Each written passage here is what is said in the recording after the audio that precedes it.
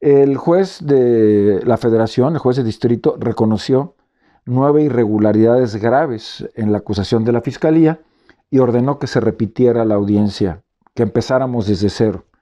Pero la fiscalía promovió la revisión de este amparo y tuve que esperar 15 meses a que el juzgado, el tribunal colegiado de circuito, eh, concediera que se hiciera nuevamente la audiencia. Al hacerse la audiencia, la fiscalía no pudo probar una sola de sus acusaciones. Incluso salieron con el cuento de que había pruebas nuevas, pruebas supervinientes. Luego, los delitos por los que me metieron a prisión no ameritaban cárcel, según la ley.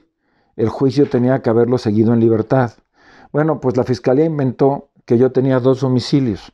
El de la casa de mis papás, en donde, en donde vivía hace 34 años en Córdoba, y el de aquí de Jalapa, donde tengo 23 años viviendo. Entonces, con base en ese pretexto me metieron a la cárcel.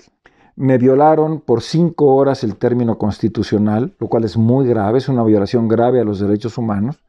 Y dentro de prisión me torturaron muy gacho, me agarraron a patadas, me provocaron tres hernias de disco en la columna, vertebral, en la columna vertebral, me provocaron compresión de médula. La primera noche después de golpearme me encerraron en una celda de castigo y a finales de abril me mandaron al director de operaciones de la Policía del Estado para amenazarme con que si yo no les firmaba lo que ellos querían, iban a matar a mis hijos y a mí. Y me aventaron fotografías de mis hijos sobre el escritorio.